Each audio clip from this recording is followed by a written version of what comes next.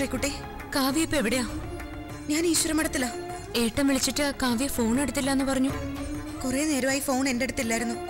ശ്രീകുട്ടി വിളിച്ചത് നന്നായി. അമ്മ ഞാൻ വിളിച്ചിട്ട് കിട്ടുന്നില്ല. ഒന്ന് അപ്പുറത്ത് പോയി എന്നെ ഒന്ന് വിളിക്കാൻ പറയൂ. സേതു ആന്റിയുടെ കാര്യം പറയാനാ ഞാൻ വിളിച്ചത്. എന്താ ശ്രീകുട്ടി? ടെൻഷനൊന്നും അടിക്കണ്ട. ആന്റി പെട്ടെന്നൊന്ന് കുഴഞ്ഞു വീണു. ആ വിവരം പറയാൻ വേണ്ടി ഏട്ടൻ വിളിച്ചത്. മെഡിക്കൽ മിഷനിൽ അഡ്മിറ്റ് ചെയ്തിരിക്കുക അമ്മക്കിപ്പോ എങ്ങനെയുണ്ട് ശ്രീകുട്ടി? അത് പിന്നെ എന്താ? എന്തായാലും എന്നോട് പറ. ഇതുവരെ ബോധം വീണിട്ടില്ല കാവ്യ.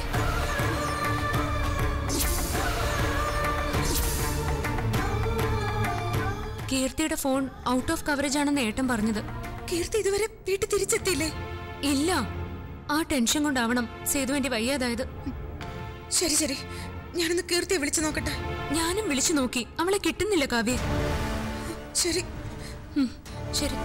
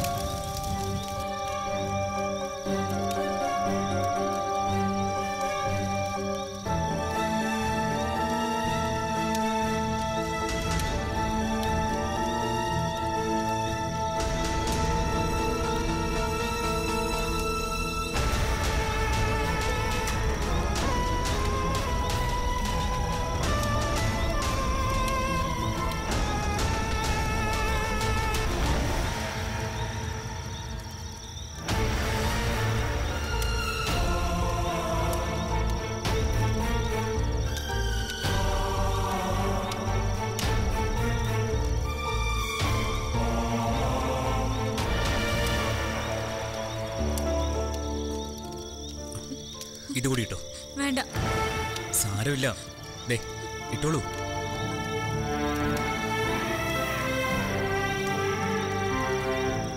കഴിഞ്ഞിട്ട്.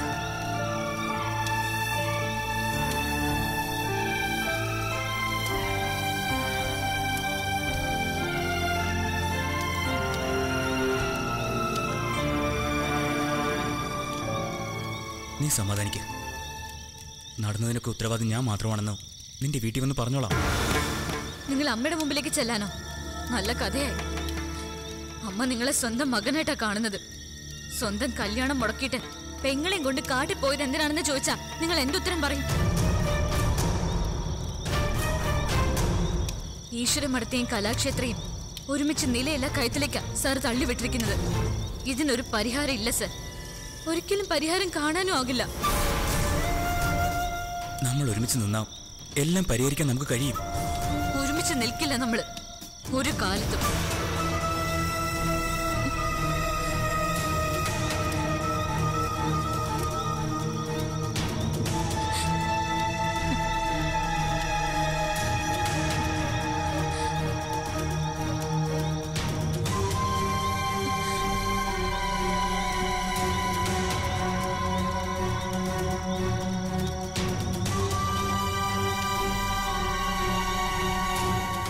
ഇത്രയും ഉത്തരവാദിത്തം ഇല്ലാത്ത സ്റ്റാഫിനെ ഞാൻ എന്റെ ജീവിതത്തിൽ കണ്ടിട്ടില്ല. മാനേജ്മെന്റിനെ ഞാൻ ഇത് റിപ്പോർട്ട് ചെയ്യും. അല്ലെങ്കിൽ വേണ്ട ആരെ ഞാൻ വിളിക്കേണ്ടത് പറ. അയാളുടെ നമ്പർ ഇങ്ങതാ ശ്രീ അമ്മയ്ക്ക് എന്താ പറ്റിയത്? ആന്റിക്ക് ഇതുവരെ ബോധം തെളിഞ്ഞിട്ടില്ല. അഡ്മിറ്റ് ചെയ്തിട്ട് ഇത്രയും നേരമായി. എന്നിട്ടും ആന്റിയെ നോക്കാറുള്ള ഡോക്ടർ ഇതുവരെ വന്നിട്ടില്ല. ഡ്യൂട്ടി ഡോക്ടർ ഏബിൾ ആണെന്ന് ഞാൻ പറഞ്ഞല്ലോ സാർ ഏബിൾ ഇവിടെ ഉള്ളവർക്ക് ന്യൂറോയെ കുറിച്ചൊരു ചുക്കും അറിയില്ല. തന്നെയല്ല പേഷ്യന്റിന്റെ ഹിസ്റ്ററി അറിയാവുന്ന ആൾ വേണ്ടി ചികിത്സിക്കാൻ ഗോപികൃഷ്ണൻ സാർ വെക്കേഷനിലാണ്. അദ്ദേഹത്തെ കോൺടാക്ട് ചെയ്യാൻ ഞങ്ങൾ ശ്രമിക്കുന്നുണ്ട്. അമ്മ എനിക്കൊന്ന് കാണാൻ പറ്റുമോ ശ്രീ? ഐസിയുലേക്ക് ആരെയും കടത്തിവിട്ടില്ല കാവ്യെ. മുത്തച്ഛനും കല്ലുമോളും ഐസിന്റെ ഫ്രണ്ടിലുണ്ട്. കാവ്യ ചെല്ല്. ഇക്കാര്യം ഞാൻ മാനേജ് ചെയ്തോളാം. വെരി സാറമ്മോ. ഞാൻ അദ്ദേഹത്തോട് സംസാരിച്ചോളാം.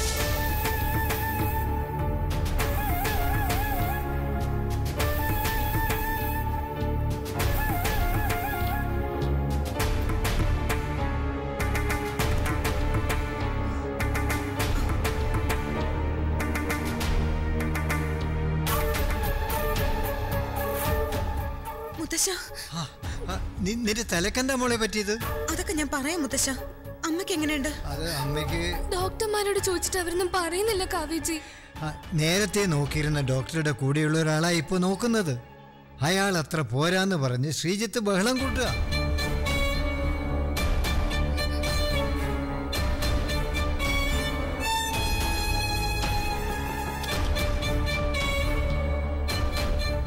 എന്താ?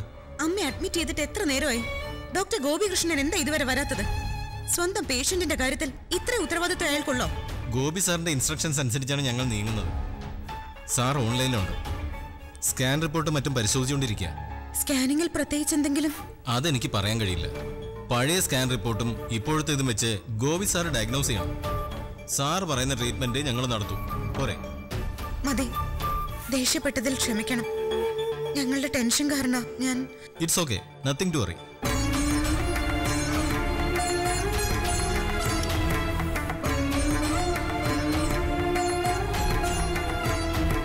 കീർത്തിയേച്ചി എന്താ വിളിച്ചിട്ട് കിട്ടാത്തെ? ഇത്രയും വൈകിട്ടും ചേച്ചി എന്താ വരാത്തെ?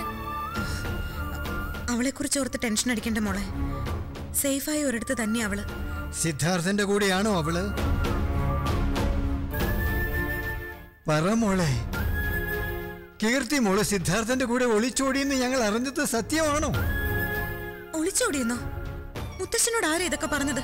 സേതു നിന്നെ വിളിച്ചപ്പോ ശിവാനിയുടെ കൂട്ടുകാരി നീതുവാ ഫോൺ എടുത്തത്. അവൾ അങ്ങനെയാ പറഞ്ഞത്. അവരെ സഹായിച്ചതിന്റെ പേരിൽ കാവ്യച്ച ഇന്ന് തന്നെ ഈശ്വരമഠത്തിൽ നിന്ന് പുറത്താക്കുമെന്ന് ആ ചേച്ചി പറഞ്ഞു. അതിന്റെ പേരിൽ ബഹളം വെച്ച അമ്മ വീണത്.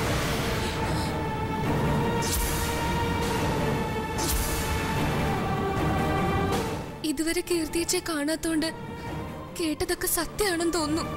അല്ലേ കവിച്ചി? അങ്ങനൊന്നും അങ്ങനെയൊന്നും നടന്നിട്ടില്ല.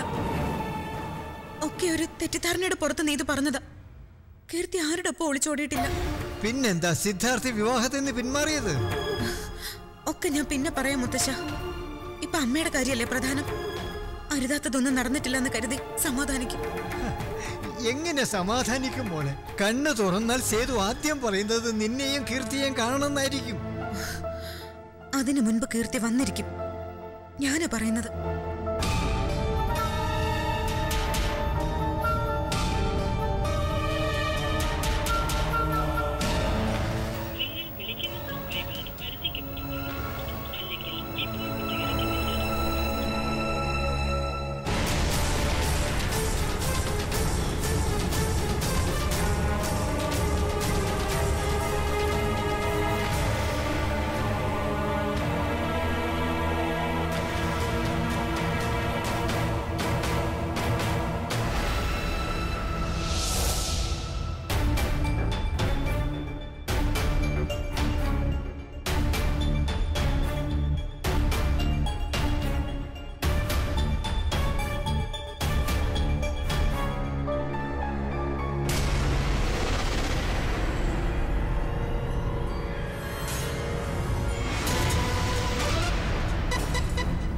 ഏട്ടൻ ഉറങ്ങിയോ?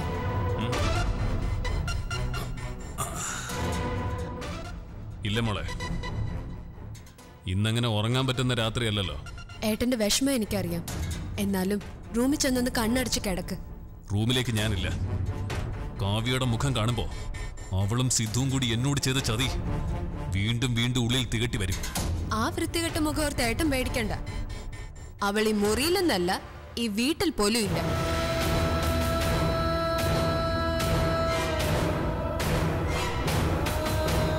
ഞാനും നീത്തും ചേർന്ന് അവളെ ബലമായി ഇറക്കി വിട്ടു. പോകില്ല എന്നൊക്കെ പറഞ്ഞ് അവൾ ബലം പിടിച്ചു. എന്തായാലും ഇപ്പൊ പുറത്തു പോയി നോക്കുമ്പോ ആളവിടെ ഇല്ല. ഈ രാത്രി അവൾ എവിടെ പോവും? ഏട്ടൻ എന്തിനാ അവളെ ഓർത്ത് ടെൻഷൻ അടിക്കുന്നേ? എവിടെയെങ്കിലും പോട്ടെ. നാശം. ഇനി തിരിച്ചു വരാതിരുന്നാ മതിയായിരുന്നു. എന്നാലും അച്ഛമ്മയുടെ തീരുമാനം അറിഞ്ഞിട്ട് ആക്ഷൻ എടുത്താൽ മതിയായിരുന്നു. അച്ഛൻ അവളെ പറഞ്ഞു വിടണ്ടെന്ന് പറഞ്ഞ ഏട്ടൻ അവളെ വീണ്ടും ഭാര്യയെ കൂടെ കൂട്ടുവോ? അല്ലാതെ വേറെ തരവില്ലല്ലോ.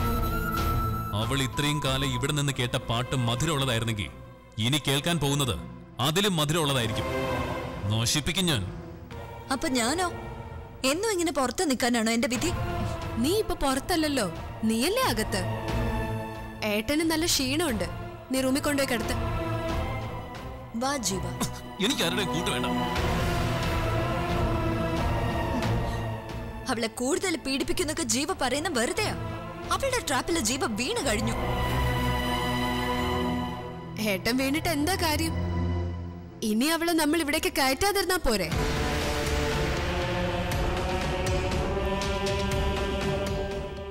ശിവാനി ഒരു ചെറിയ പ്രശ്നമുണ്ട്. എന്ത് പ്രശ്നം? നമ്മുടെ കാവ്യയുടെ അമ്മ ഹോസ്പിറ്റലാണെന്നും പറഞ്ഞ് ശ്രീകുട്ടി വിളിച്ചിരുന്നു. അത് പ്രശ്നമല്ലല്ലോ. ഒരു നല്ല വാർത്തയല്ലേ അവർ തീർന്നു എന്ന് കേട്ട കൂടുതൽ സന്തോഷം. അതല്ല അവരെ പരിശോധിക്കുന്ന ഡോക്ടർ ഇതുവരെ വന്നിട്ടില്ല. അക്കാര്യം ഏട്ടനെ അറിയിച്ച എന്തെങ്കിലും സ്വാധീനം ഉപയോഗിച്ച് ഏട്ടൻ ഡോക്ടറെ വരുത്തുന്ന ശ്രീകുട്ടി പറയുന്നത്. ഓ അങ്ങനെ. എങ്കിലും പ്രിയപ്പെട്ട അനിയൻ ഏട്ടനോട് പറ. എന്നെ കാണുന്ന പോലും ഏട്ടന് വെറുപ്പല്ലേ? മുമ്പിൽ ചെന്ന് ആട്ടി ഓടിക്കും. പിന്നെന്താ? ഏട്ടനോട് തള്ളു രക്ഷിക്കാൻ ഞാൻ പറയണോ? അതെ. നാണമില്ലല്ലോ ഏട്ടൻ ഇത് പറയാൻ. അവൾക്ക് വേണ്ടി ഏട്ടനോടൊന്നല്ല ആരോടും ഞാൻ ശുപാർശ ചെയ്യില്ല. ഒരു വിധത്തിൽ ആ ശ്രീകുട്ടി എന്നെ വിശ്വസിച്ചു തുടങ്ങിയത്.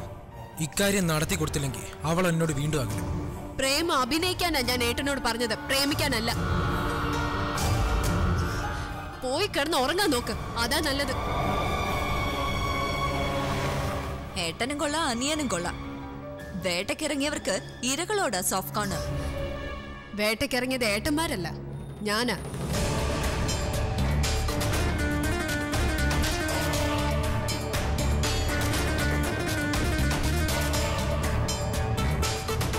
ഞാൻ ഉദ്ദേശിക്കുന്നിടത്തെ ഈ വേട്ട തീരും.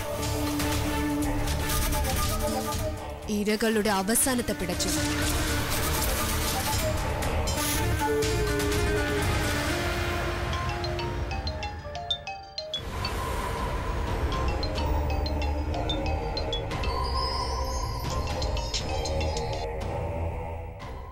ആ ശ്രീകുട്ടി.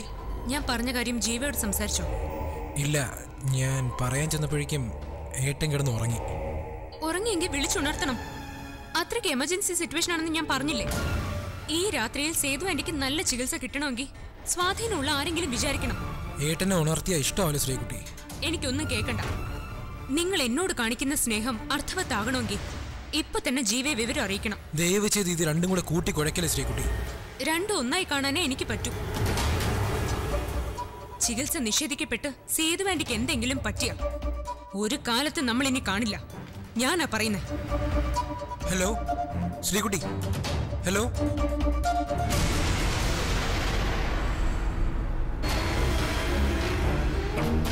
ഇത്രയും കഷ്ടപ്പെട്ടിട്ട് നിന്നെ വിട്ടുകളഞ്ഞാൽ പിന്നെ ഒരിക്കലും ഇവിടുത്തെ സ്വത്തിലേക്ക് എനിക്ക് പ്രവേശനം കിട്ടില്ല.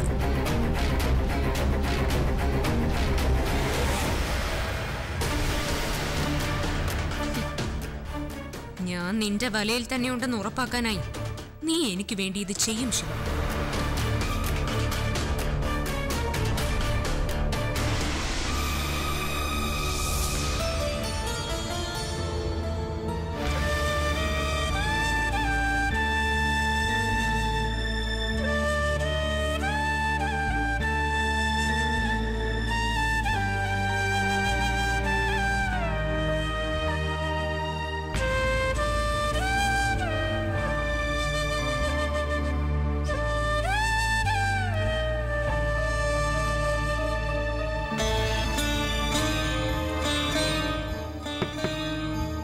അച്ഛമ്മേ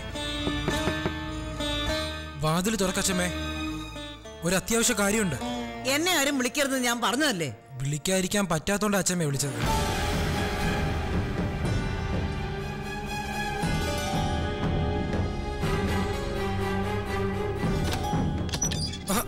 എന്താടാ? ഏട്ടത്തിയുടെ അമ്മ ഹോസ്പിറ്റലിൽ അച്ഛമ്മേ സേതുലക്ഷ്മിയോ? അതെ. വിവരം പറഞ്ഞ് ഏട്ടത്തിയമ്മ അങ്ങോട്ട് പോയിട്ടുണ്ട്. പക്ഷെ അതല്ല പ്രശ്നം. സേതു ആന്റിയെ ചികിത്സിക്കുന്ന ഡോക്ടർ ഇതുവരെ ഹോസ്പിറ്റലിൽ എത്തിയിട്ടില്ല മെഡിക്കൽ മിഷനിലാണ് ആന്റി അഡ്മിറ്റ് ചെയ്തിരിക്കുന്നത്. എന്തെങ്കിലും സ്വാധീനം ചെലുത്തിയാലേ ഈ രാത്രി ട്രീറ്റ്മെന്റ് തുടങ്ങാൻ പറ്റൂ.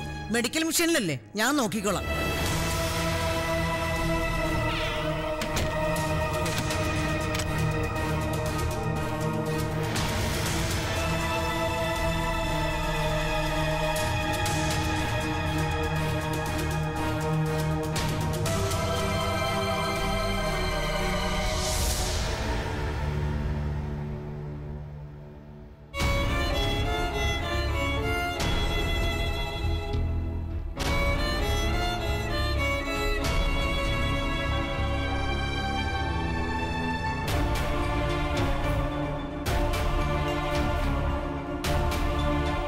സേതുലക്ഷ്മിക്ക് വേണ്ട ട്രീറ്റ്മെന്റ് ഇവിടെ നൽകുന്നുണ്ടായിരുന്നു. ഓൺലൈനിലൂടെയുള്ള എന്റെ നിർദ്ദേശപ്രകാരം തന്നെയാണ് ചികിത്സ നിശ്ചയിച്ചത്.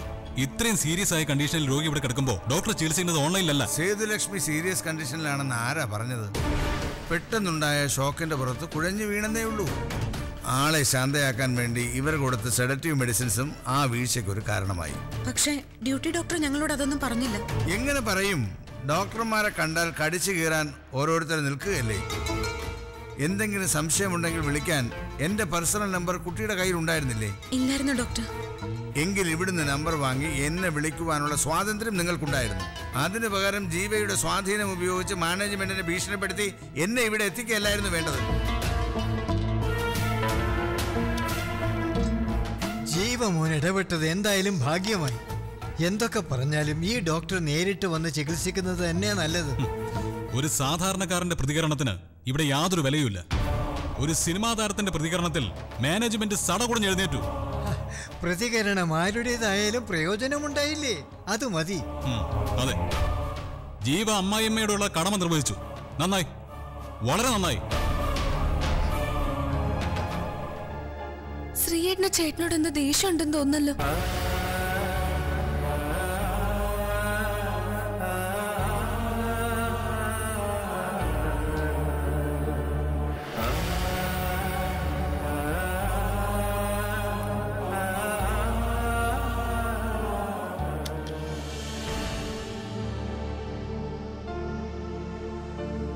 പേടിക്കാനൊന്നുമില്ല. സേതുലക്ഷ്മിയെ രാവിലെ മുറിയിലേക്ക് മാറ്റും. മാനേജ്മെന്റിനെ വിളിച്ച് പ്രഷർ ചെയ്യിച്ചതിൽ ഡോക്ടർക്കൊന്നും തോന്നരുത്. എന്റെ ഭർത്താവ് ടെൻഷൻ കാരണം ചെയ്തു പോയതാ. സാരമില്ല. സേതുലക്ഷ്മിയുടെ വിവരം കൃത്യമായി നിങ്ങളെ അറിയിക്കാത്ത ഡ്യൂട്ടി ഡോക്ടർക്കും എന്റെ ബുദ്ധിമുട്ടിൽ പങ്കുണ്ട്. എങ്കിൽ ശരി. എന്തായാലും സേതുവിന് കുഴപ്പമൊന്നുമില്ലല്ലോ. സമാധാനമായി. എന്റെ മഹേശ്വര. പക്ഷേ എനിക്ക് സമാധാനം ആവണമെങ്കിൽ ഒരാളെ നേരിട്ട് കാണണം. അമ്മയ്ക്ക് ഈ ഗതി വരുത്തിയവളെ.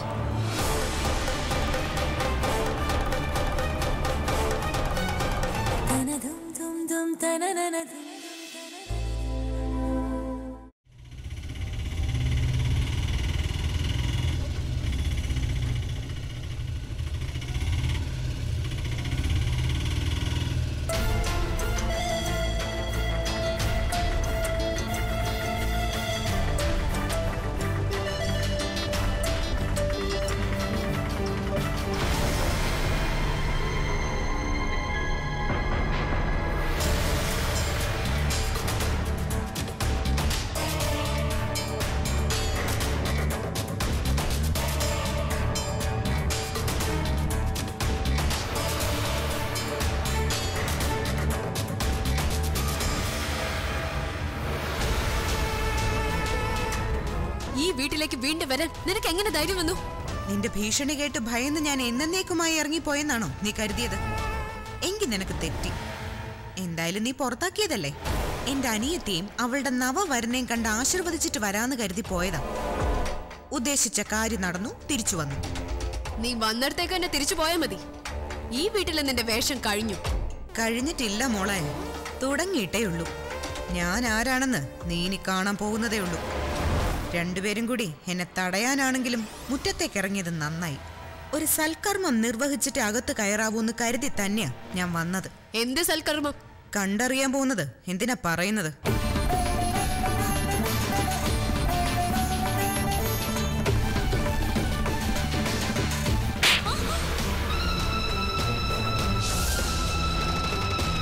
നീ അവിടെ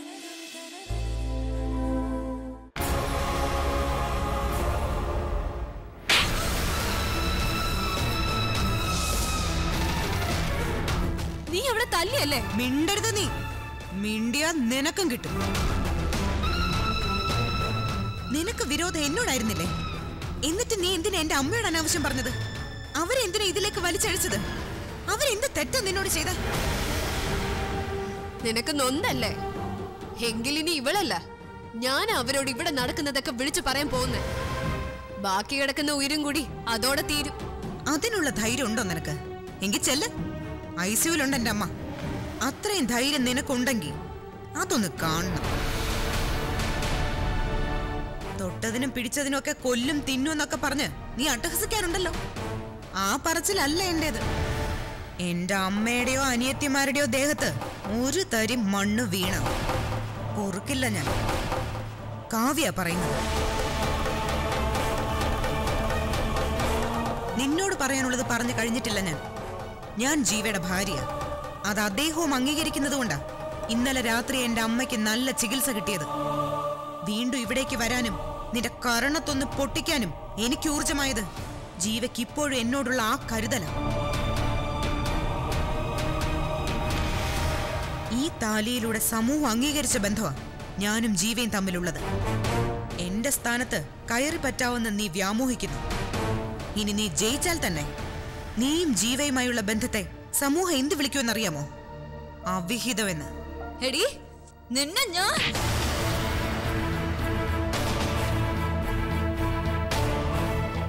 ഒന്നും ചെയ്യില്ല. കാരണം ഞാനൊരു ഭാര്യയും നീ ആ സ്ഥാനത്ത് കയറി പറ്റാൻ ശ്രമിക്കുന്നവളും മാത്രമാണ്. ഏട്ടന്റെ ഭാര്യ എന്ന നിന്റെ അഹങ്കാരം ഇന്നത്തോടെ തീരും. എന്റെ ജീവിതം തകർത്ത നിന്നെ വീണ്ടും ഇവിടെ വാഴിക്കാൻ ഞാൻ അനുവദിക്കില്ല.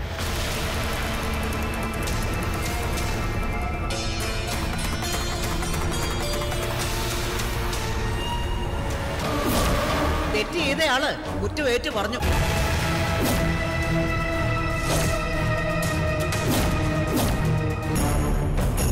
ഇനി എന്റെ ജീവിതത്തിൽ അവളുമായി ഒരേ ഒരു കൂടിക്കാഴ്ചയുണ്ട്.